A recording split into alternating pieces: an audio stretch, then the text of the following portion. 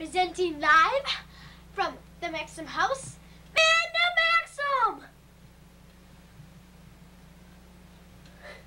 Ah. Um, oh here, I'll show you something really cool.